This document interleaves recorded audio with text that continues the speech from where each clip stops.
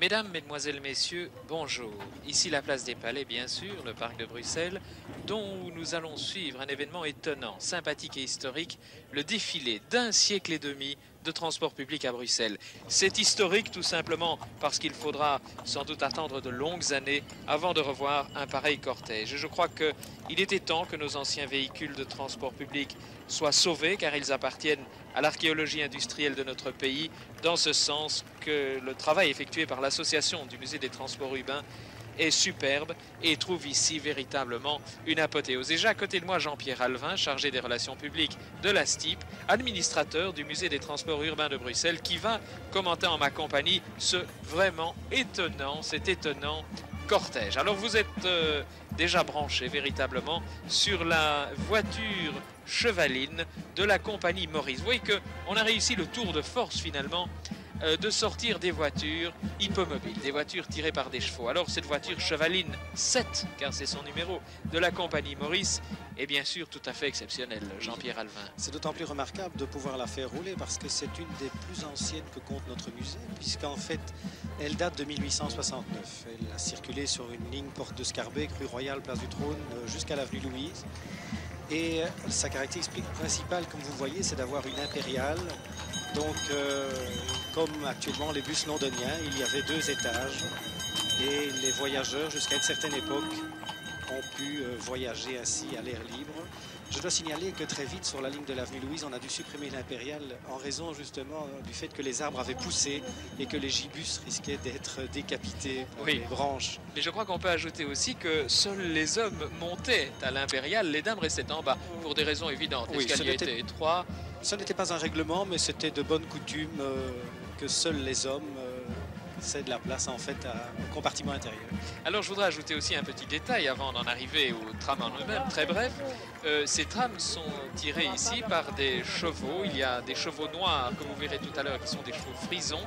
Il y a trois gros brabançons et il y a deux superbes chevaux ardennais à crinière. Des bêtes de toute beauté, il faut bien le dire. Je crois qu'il fallait des bêtes aussi robustes pour tirer des trams. Je crois que ce tram impérial pouvait emporter 40 personnes. Ici, on est déjà branché sur le fameux tram 31 de la compagnie brésilienne des tramways. C'est une voiture Saint-Michel. Alors, compagnie des brésiliennes à Bruxelles, là, il faudra que vous disiez un mot parce que euh, finalement, c'est assez oui, Il y avait des intérêts divers à l'époque. En fait, nous assistions à Bruxelles au foisonnement de multiples petites sociétés privées. Et celle-ci avait eu l'idée de faire une ligne euh, en service sur ce qu'on appelait la promenade circulaire. C'était en somme le tour des boulevards. C'est l'ancêtre du 15. C'est l'ancêtre du tram 15. l'ancêtre du fameux 15. Il faut aussi dire euh, pour les téléspectateurs qui sont peut-être étonnés par les petites cheminées que l'on voit, ce sont des cheminées pour les lampes à pétrole avec euh, les numéros et des, couleurs qui permettaient d'identifier les trams et leur parcours. Voici la, voiture suivante tirée par deux chevaux. Ce sont les deux beaux Brabançons, les, les deux Ardennais dont je vous parlais. C'est une voiture chevaline 240 des tramways bruxellois, de la société anonyme des tramways bruxellois. Vous voyez tout de suite le style, la classe. C'était une voiture euh, en plein air avec la barre métallique. Euh, c'était une baladeuse en fait. C'était une baladeuse, oui, c'est bien ça. Avec des sièges réversibles. Les sièges réversibles, elles pouvaient être conduites des deux côtés et ainsi on modifiait la position des sièges pour pouvoir retourner dans un autre. Avec des barres de protection en métal avec loquet, comme je le disais, et on remarque malgré tout qu'elles sont assez chahutées. Oui, dans ce cas particulier-ci, euh, nous avons affaire en fait à une voiture que nous appelons voiture déraillable. C'est un exemplaire assez unique dans notre musée. Et si vous la voyez ainsi chaotée, c'est parce qu'en fait, elle ne circule pas sur les rails, mais elle circule sur des bandages en bois. Étant donné que nous avons affaire ici réellement à une véritable, un véritable omnibus de pavés qui circule sur les pavés de la place des Palais, qui ne sont pas des plus confortables à Bruxelles. C'est une voiture qui circulait dans des artères assez étroites et dont le conducteur pouvait euh, faire sortir le véhicule des rails au moyen d'une petite roue métallique euh, qu'on ne voit plus bien en bas de l'image actuellement. C'est une petite roue métallique qui euh, guidait le véhicule sur des rails, des rails d'ailleurs beaucoup plus étroits que les rails actuels puisque c'était des rails de 1m140. Et lorsqu'il devait croiser un autre véhicule ou un chariot ou une charrette diverse, à ce moment-là, le tramway déraillait et cédait le passage. Enfin, déraillait, mais dans le bon sens du terme. Quittait On la gorge du rail. pour, la euh, gorge du rail, c'est bien Voilà. ça. Et ces, ces- ces tramways déraillables de la Société Générale des Chemins de Fer Économiques ont circulé jusqu'en 1910 environ. Ici, je pense que c'est une réplique avec un timon de 3 mètres de long, des sièges cannelés et des petits rideaux. Donc, vous voyez que c'est bien tout à ça. fait admirable de revoir ça. Et j'insiste aussi sur un point, outre le fait que ces véhicules sont montrés au public, ce qui me paraît très important aux plus jeunes, aux générations qui ne les ont pas connus. J'avoue que moi-même, je n'ai pas eu le grand bonheur de connaître ces trams hippomobiles. Mais ensuite, il faut bien avouer que le public a répondu à votre euh, invitation. Oui, je vois. Euh, il, est, il est nombreux. plusieurs milliers de personnes. Ah oui. Euh, Le soleil est de la partie également, vous voyez. Absolument. Ici, on distingue très bien la petite roue du tram déraillable dans le bas de l'image, vous voyez, derrière le cheval. Ce sont d'ailleurs les chevaux noirs dont je parlais tout à l'heure, autrement dit les frisons qui tirent le tramway déraillable. Pour l'instant, il y a un petit arrêt dans l'ordre du cortège, car en fait, euh, il y a un seul véhicule qui sera sur camion, que nous allons voir dans quelques instants.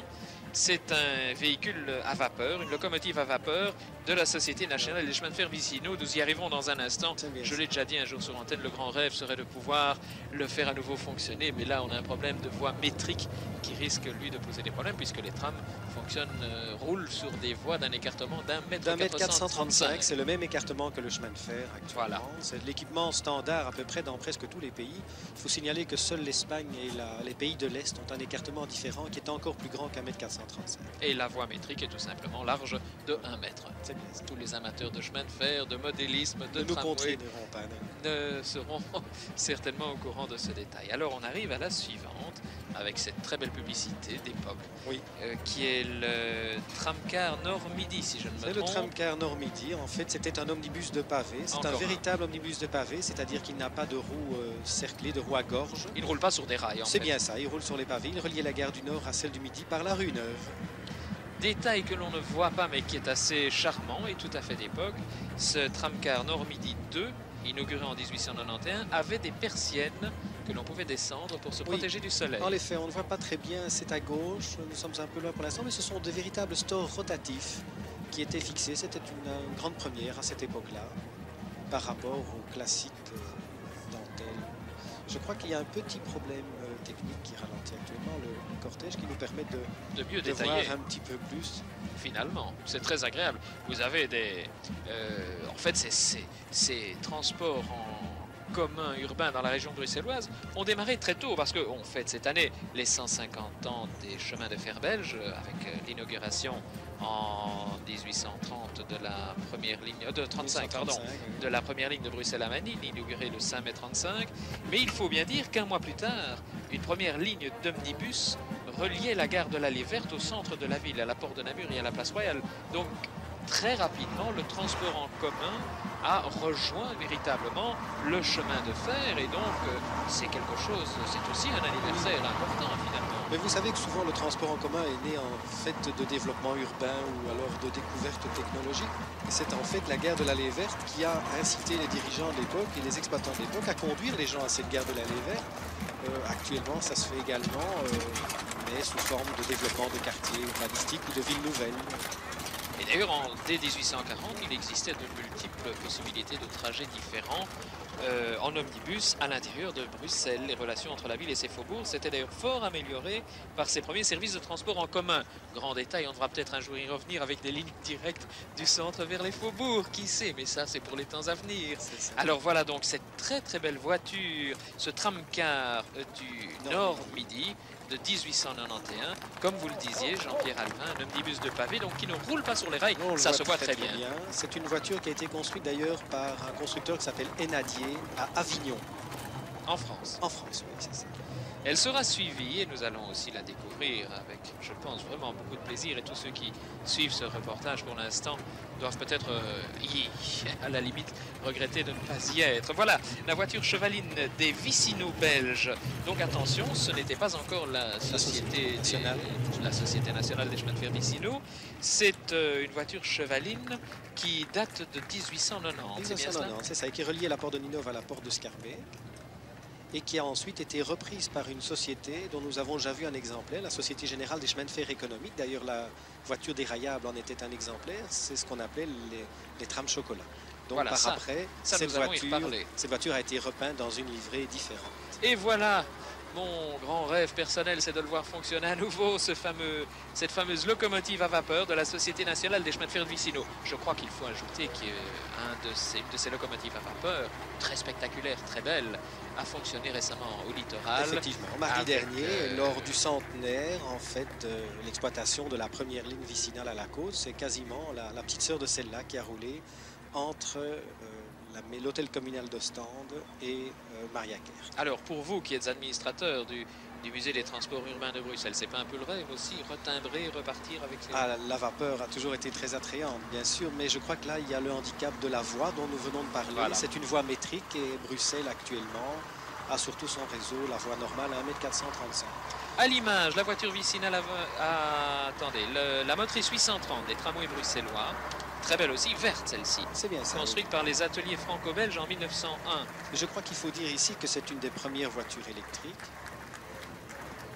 Et les voitures vicinales ici à l'image, qui sont les voitures vicinales à vapeur de deuxième classe, donc en fait les voitures qui étaient euh, tirées par le tram à vapeur que nous avons vu il y a un instant. Superbe, absolument les wagons, superbe. Les wagons, ils sont dans un état superbe et qui, pour la raison de la voie également, sont transportés sur camion. Oui, et il faut dire que au musée du tram, là-bas, où lui est Saint-Pierre, aux étangs Mellarts, il y a un fourgon absolument superbe avec euh, un petit poêle euh, à charbon dans le fond du fourgon. Voici donc la motrice 830 des tramways bruxellois, verte. Je crois qu'il y a deux grandes couleurs à cette époque-là, au tournant du siècle, le vert et le brun, autrement dit, les tramways chocolat, comme on les appelait. Il faudra rapidement nous dire, là, Jean-Pierre Alvin, comment euh, s'est faite cette fusion après coup.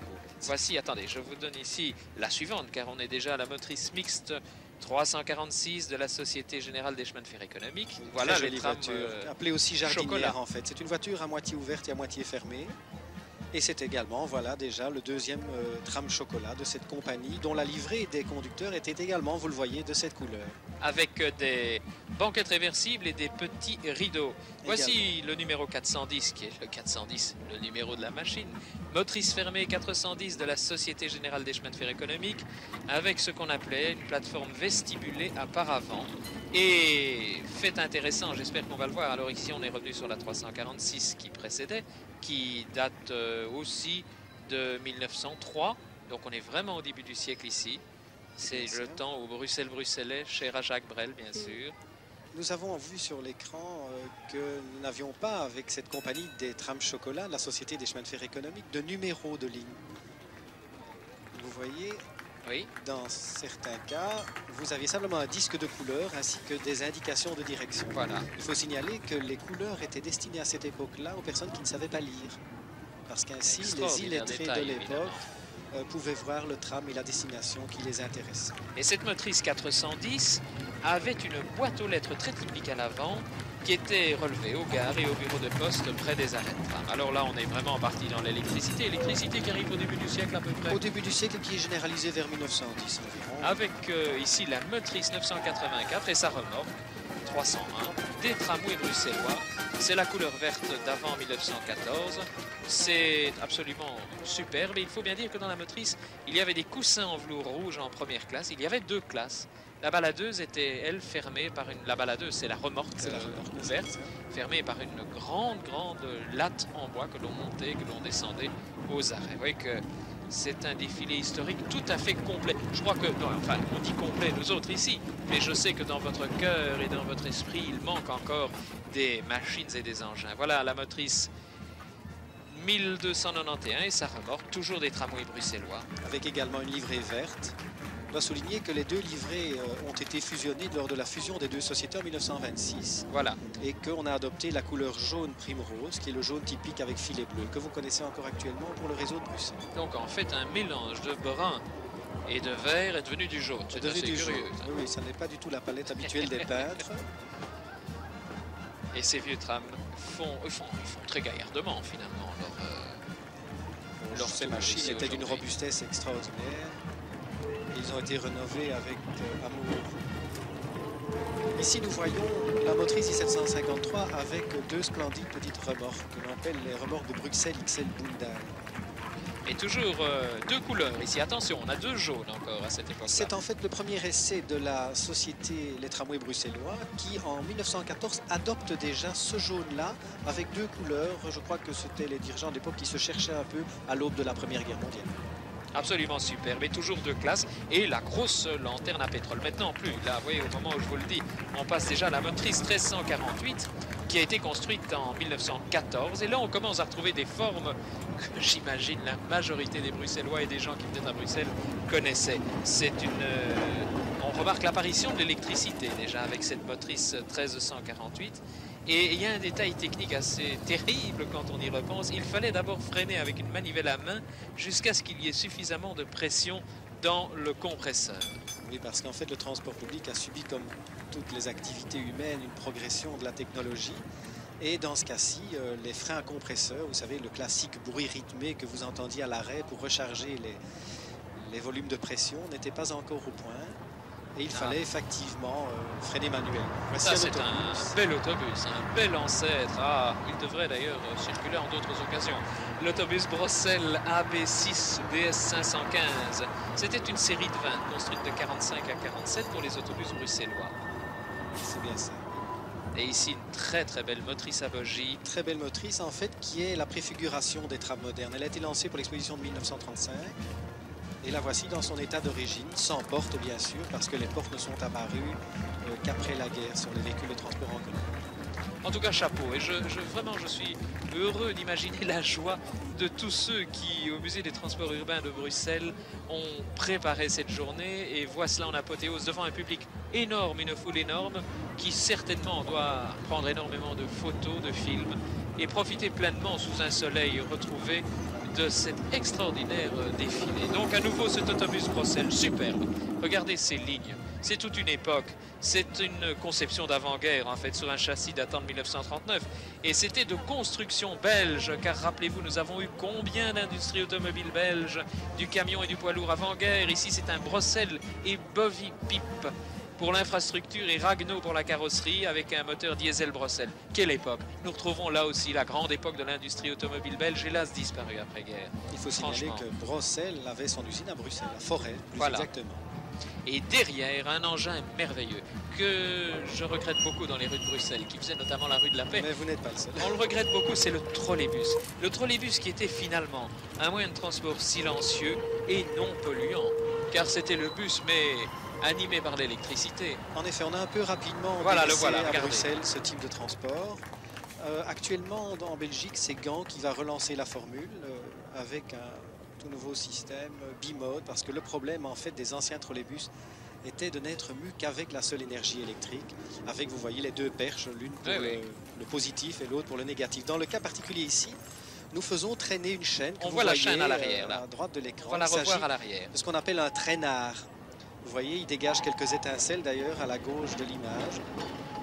Et le traînard avait bien sûr pour but euh, d'amener euh, le courant à la masse, d'amener l'énergie à la masse. Et le trolleybus va peut-être renaître. Ce serait souhaitable dans nos villes, car je le répète, c'est silencieux, non polluant, et on n'en a plus à Bruxelles depuis le 15 février 1964, ce qui est quand même assez triste. Ah, voilà un grand classique classique des classiques, la fameuse motrice standard 1002 dans ce cas-ci, et une remorque standard. Ça, je crois que euh, tout bruxellois âgé de, euh, de 30 à 77 ans. Oui, je vais dire même de, oui, de, même de plus de 20 ans, parce qu'il n'y a pas si longtemps, en fait, que ces motrices que nous appelions standard, parce qu'en fait, euh, c'est vraiment une standardisation générale qui a poussé les exploitants de l'époque à transformer la plupart des véhicules de leur parc vers 1934.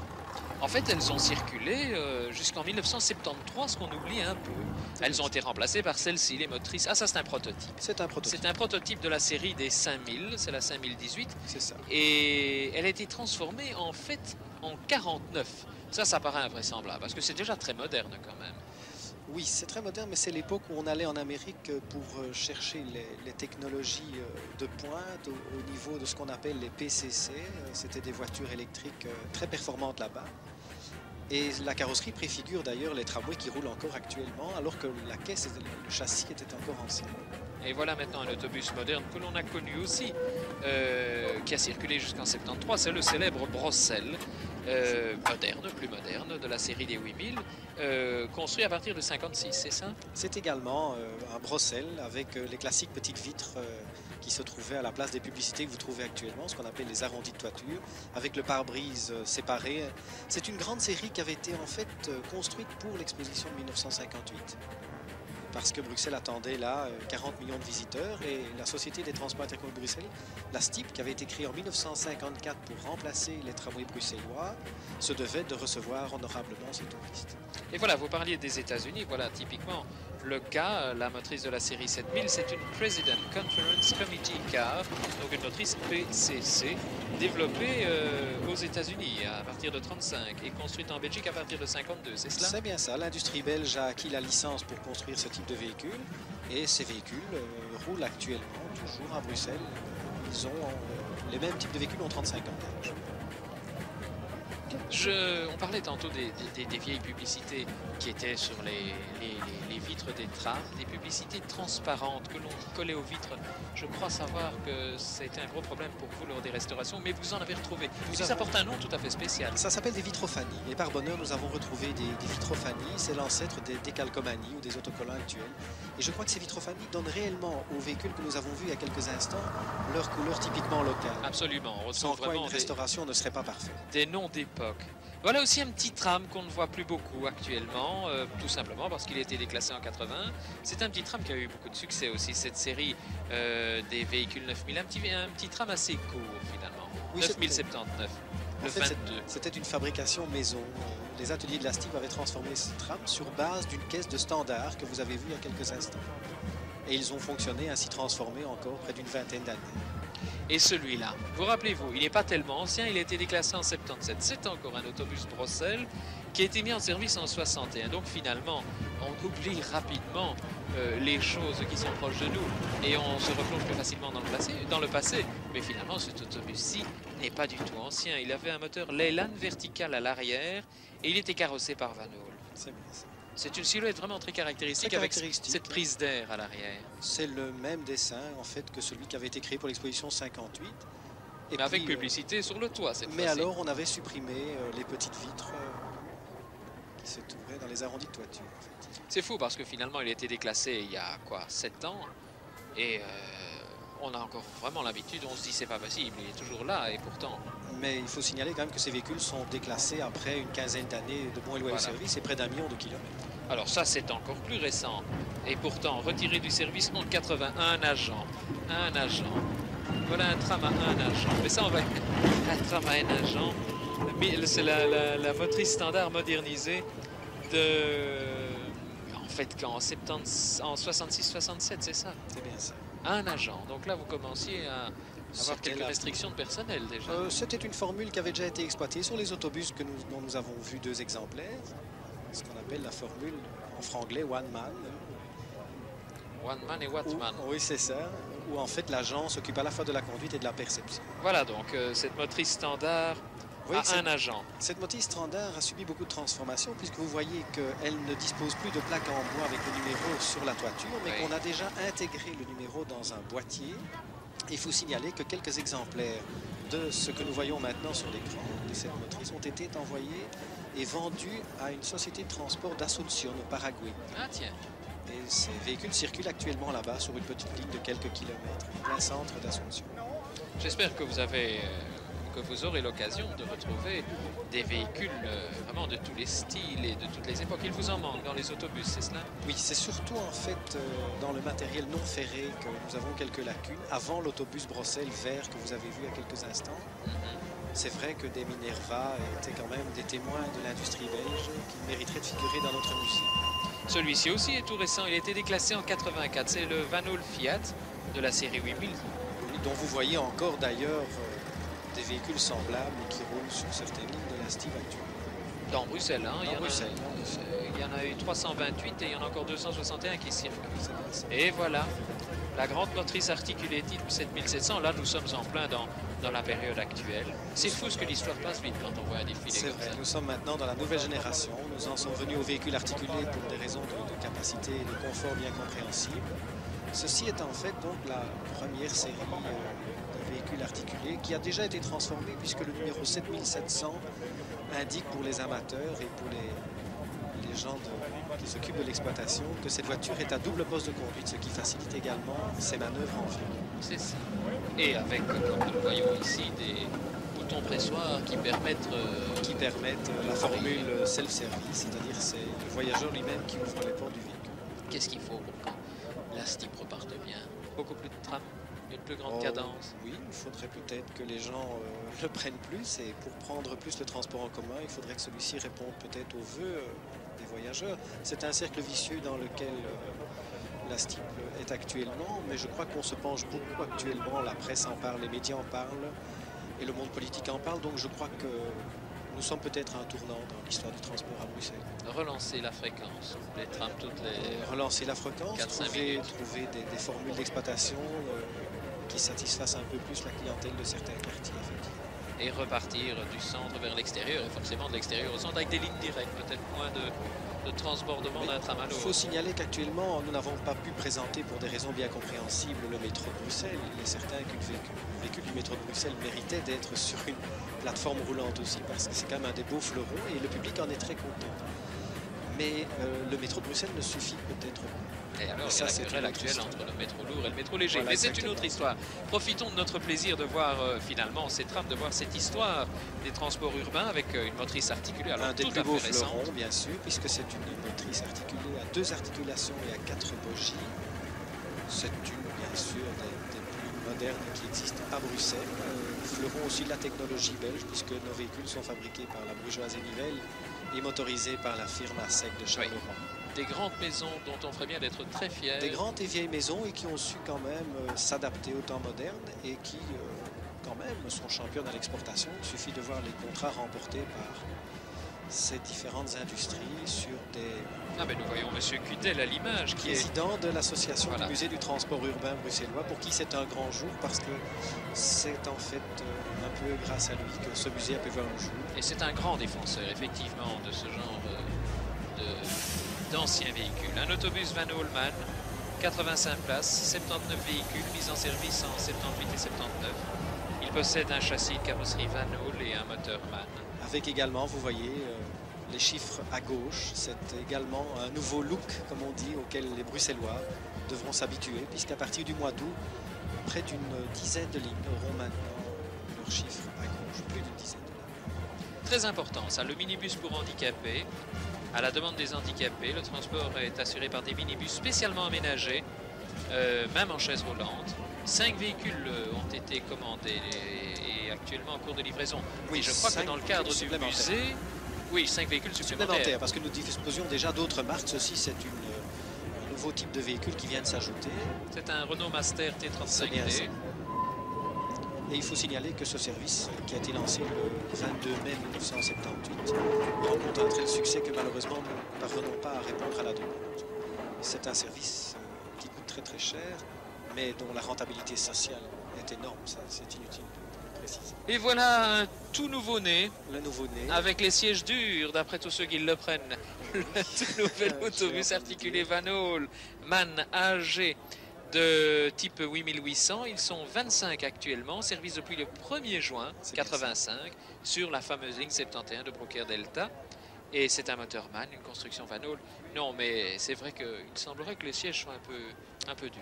Le public nous l'a déjà signalé, effectivement, mais nous avons adopté là des sièges anti-vandalisme. Euh, Ah. Vous savez que nous avons tenu compte également que le temps de parcours n'est pas euh, très élevé. Euh, je crois que nous allons surtout veiller à, remédier à ces problèmes. Alors là, c'est très surprenant parce que finalement, euh, c'est un engin à roues et à roulettes. C'est ça, c'est ce qu'on appelle un véhicule rail-route. C'est un véhicule qui peut à la fois se déplacer, guider sur des rails et supporter. Vous voyez que en fait la partie pneumatique est levée par rapport au pavé. Et Ce avant véhicule- ça, oui, voilà, avant nous avions un tramway de tramway de service. service. En fait, c'est encore le fameux tramway standard Voilà. qui termine sa glorieuse carrière comme euh, tram de travaux avec derrière lui un wagon plat sur lequel vous avez peut-être remarqué un bogie de tramway. Nous allons le revoir dans un instant. Je crois que dans les grandes dates, il y a évidemment euh, en 35, 1835, déjà les, les premières lignes d'omnibus qui relient le centre et l'allée verte d'où partait donc cette fameuse ligne de train. Voilà, Voilà le bogie de train. le Le bogie c'est donc l'ensemble roulant avec le moteur, les freins, c'est sûr. Et voilà Monsieur Cudel à nouveau, très heureux. hein. Lui, il, est- il profite largement de son Très bonheur. grand jeu. celui Alors je disais donc ces premières lignes qui allaient de l'allée- enfin qui reliaient l'allée verte à la porte de Namur et la place Royale. Et ensuite dans les autres grandes dates, il y a les- la, la- la formation des premières sociétés euh, vers euh, 1860 et des poussières. Voilà, on voit très bien ici euh, les, les- les roulettes là de ce engin rail route. C'en est un autre ceci. C'est une Vue en Ah non, c'est un gros plan. gros plan. Donc, un engin avec des petites euh, roues à boudin permettant la circulation sur rail. La traction reste assurée par les roues routières dont les pneus prennent appui sur les rails. Donc il y a eu la formation des sociétés vers 1867-68, dont notamment le groupe Maurice, dont la compagnie brésilienne dont on a parlé tout à l'heure, dont les tramways bruxellois qui ont été eux fondés en 1874. Et puis alors l'arrivée de l'électricité vers 1893, donc Oui, alors siècle. mises en service complètement euh, avant la Première Guerre. Et en 25, 1925, la fusion des réseaux des tramways bruxellois et de la Société Générale des Chemins de Fer Économiques, autrement dit euh, des trams au chocolat et des trams verts. Et à ce moment-là, on en est arrivé aux trams actuels. Et nous avons la société anonyme Les Tramways Bruxellois qui, en somme, euh, a perduré jusqu'en 1953, date à laquelle fut créée la STIB, la Société de Transport Intercommunal de Bruxelles, que vous connaissez toujours actuellement, Voilà. mais dont il faut signaler à la base qu'elle était euh, mixte, moitié privée, moitié publique. Alors que maintenant, depuis euh, 1978, euh, l'État a racheté les parts du secteur privé. Ici, il y a un très beau dépanneur Krupp Moll, 366. Très très beau, tout à fait récent, construit en 84.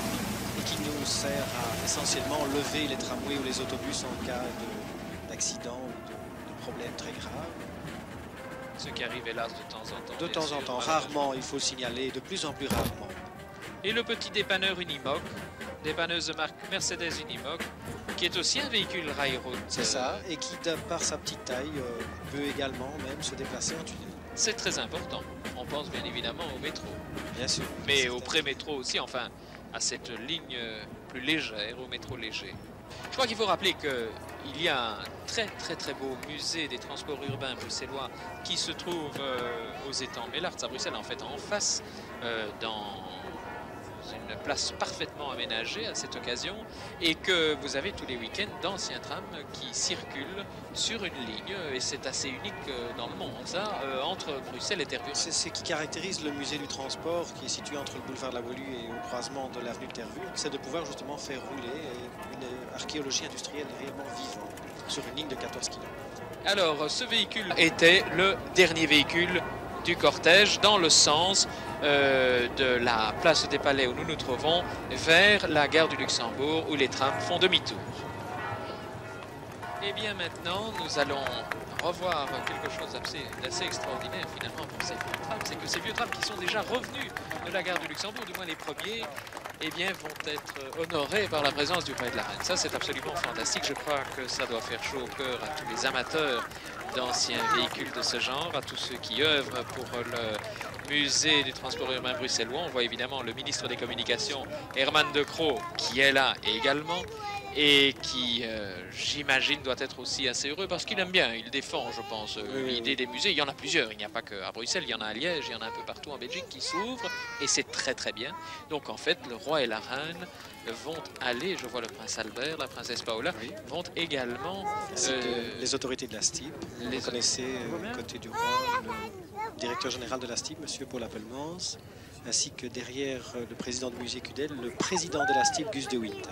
Voilà, qui vont tous ensemble vers la voiture chevaline 7, j'imagine, la première, C'est bien ça. qui est là, de l'ancienne compagnie Maurice, tramway à traction chevaline avec Impérial, un exemplaire authentique des premiers tramways mis en service à Bruxelles en 1869, sur la ligne Porte de Scarbeck, rue Royale, place du Trône, place Louise, avenue Louise. C'est une voiture qui a été construite en 1868 par Geo Starbuck and Company à Birkenhead en Grande-Bretagne. Voilà, donc les premiers tramways bruxellois étaient anglais. Ceci est très bien, oserais-je dire. Et je crois que le cortège va de nouveau s'ébranler pour permettre aux souverains d'en voir les éléments essentiels. Et de voir ces fabuleuses premières voitures chevalées. Quelle excellente idée d'avoir remis à Bruxelles des engins qui euh, étaient tirés des, véhicules hippomobiles, en fait, avant l'électricité, avant l'automobile. En fait, en 1869, eh bien, nous n'étions nulle part en automobile, puisque nous allons fêter l'an prochain, en 86, le centenaire de l'automobile. Mais c'est remarquable, voilà. Cette voiture chevaline 7 de la compagnie Maurice repart. C'est absolument remarquable de revoir de tels engins à Bruxelles et de voir cette foule qui est là, ces gens qui sont heureux de revoir finalement une tranche d'un passé qu'ils n'ont pas connu. Je crois que honnêtement, il n'y a plus d'anciens qui, pourraient, qui pourraient éventuellement le raconter. Une foule qui a véritablement envahi la place des palais à quelques mètres seulement du roi et de la reine. Que voilà. Et des princes de Liège. Et qui sont vraiment très, très, très heureux et très intéressés. Il y a de quoi. Voici la voiture Saint-Michel 31 de la compagnie brésilienne des tramways qui est passée. Moi, le souverain s'intéresse particulièrement aux technologies et au transport en commun. Il faut signaler d'ailleurs que si Léopold Ier a inauguré le premier chemin de fer en 1835, c'est quand même sous l'égide de Léopold II que s'est créée la très belle ligne de Bruxelles-Tervure sur laquelle nous faisons rouler précisément le tram touristique puisque c'est en 1897 qu'a été créé le musée, le dépôt à l'époque de Woluwe, sur lesquels euh, circulaient des voitures qui allaient à l'extension coloniale de l'exposition de 1897. Et ici, un plan de la fanfare de la style. C'est ça. Très sympathique euh, harmonie de la style. Donc, euh, nos collègues de la Société des transports intercommunaux de Liège qui sont venus euh, à leur manière nous aider à commémorer cet événement. Et j'imagine que nos souverains vont rester quelques instants car les véhicules qui défilent devant eux absolument superbes. Je le répète, on a eu cette voiture chavaline de la compagnie Maurice de 1869, suivie par une voiture euh, de la compagnie brésilienne des tramways de 1873. Une voiture chavaline euh, des tramways bruxellois qui date elle de 1882, qui est une voiture classique au châssis en treillis qui a servi de baladeuse ouverte jusqu'en 1930. Voici d'ailleurs euh, la tramway, le fameux tramway déraillable, effectivement. Parlé tout à l'heure, de la Société Générale des Chemins de Fer Économiques, qui date de 87, qui est suivi par le superbe, il faut bien le dire, omnibus de pavé, le tramcar Nord-Midi de 1891, donc qui ne roule pas sur les rails, je le répète. C'est bien ça. Et on voit son allure chaotante. Et qui reliait la gare du Nord à celle du Midi par la rue Neuve. C'est bien ça avec des persiennes pour se protéger du soleil, comme nous le disions tantôt. Et vous voyez la foule immense qui est là, place des Palais, et qui va vivre euh, pleinement ce cortège. Un très beau parcours finalement, place des Palais, et puis de là il partait sur un la très gare beau parcours dont, l'histoire est, est très chargée en fait de transport en commun parce que la rue Royale a toujours été une des artères les plus euh, desservies par les, les transports en commun à une certaine époque. Et nos souverains sont toujours présents. Voyons à côté de la reine également, à côté du ministre de Croo, Claude Van den Hoof d'Estenrijk, qui est un des artisans de ce cortège également, vice-président du musée des transports urbains. Et la voiture chevaline des Vicino belges, construite euh, dès 1890. Avec de très belles roues en fond de coulée incurvées à hauteur des moyeux pour des questions de dilatation. C'est une construction très spéciale. Très très spéciale. Et j'imagine que les gens doivent être heureux, puisque maintenant on se dirige tout doucement vers les premiers euh, tramways à flèche, avec le célèbre chef de flèche Isaf, bien connu de tous les Bruxellois et des affreux gamins que nous étions tous, que nous étions tous et qui tiraient la flèche discrètement. Je crois que vous l'avez fait aussi, non? Non, je m'en rappelle pas. Allons, allons. La locomotive à vapeur montée sur le, le camion de la Société nationale des chemins de fer Vicino. La voilà, très belle, très très belle.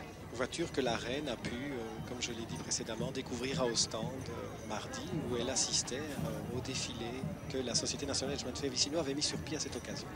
Elle a circulé dans un wagon royal tiré par une voiture de ce type. Construite en Angleterre aussi, à Newcastle on Tyne. par, pour le Railway Operating Division. Voilà, c'est superbe voiture une revient pas. Ah, la petite fille qui a donné les fleurs euh, à la reine. Petite fille d'ailleurs qui est la fille d'un couple qui est la cheville ouvrière de notre musée.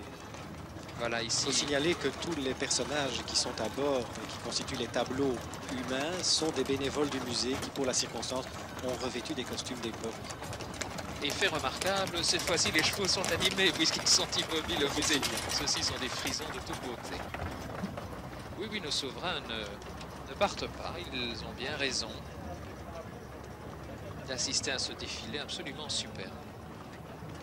Unique en son genre, j'espère qu'il y en aura d'autres, euh, qui sait, plus tard, mais je crois que ceci est vraiment une journée assez exceptionnelle pour euh, les transports en commun bruxellois. Ce n'est pas tous les jours que nous voyons cela. Et les explications pour souverains avec euh, Monsieur Cudel, qui, rappelons-le, est le président de l'ASBL du musée du transport urbain bruxellois. Et voici les tramways avec la flèche. Nous sommes en pleine ère de l'électricité maintenant. Avec la motrice 830 qui vient de passer les tramways bruxellois, qui est la première électrique appartenant au musée. La vraie première électrique, vous ne l'avez pas, avouez-le, c'était une, euh, locomo- locomo- une motrice du type 400 de 1894. Ça Vous en possédez les pièces. Ça fait partie de 3-4 exemplaires qui nous manquent. Mais c'est peu dans le fond sur une centaine d'années. Et voilà à nouveau un tramway chocolat appelé jardinière à banquette réversible, à petit rideau d'un poids d'environ 7 tonnes, absolument superbe, qui s'arrête là devant les souverains. Je crois que c'est une très belle apothéose finalement pour une journée comme celle-ci. Ces trams sont là dans Bruxelles, rendus à la foule finalement. Regardez cette image symbolique des gens entourant les tramways. Vous entendez les sonneries, nous retrouvons les bruits, enfin ceux qui sont là tout près doivent retrouver les bruits, les odeurs. Et voilà nos souverains très heureux sans aucun doute. Je pense qu'en guise de conclusion, on peut dire que ceci, Jean-Pierre Alvin, était un défilé absolument exceptionnel. Je crois qu'on ne pouvait pas rêver de meilleure commémoration pour une année des transports en commun euh, qui dure encore jusqu'en décembre, mais il fallait. Je crois qu'il fallait marquer l'événement de cette façon. Eh bien, nous l'avons suivi, nous l'avons marqué avec vraiment beaucoup de chaleur au cœur. Je pense qu'il reste une chose à faire à tout le monde, c'est d'aller les voir, d'aller les voir circuler dans les musées qui se constituent, dans les musées qui sont constitués, comme celui des transports urbains bruxellois. Ici, la place des Palais, le parc de Bruxelles, sous le soleil, avec les vieux trams qui font la fête et qui sont en fête. Alain Van Den Abel au micro. Merci de votre attention.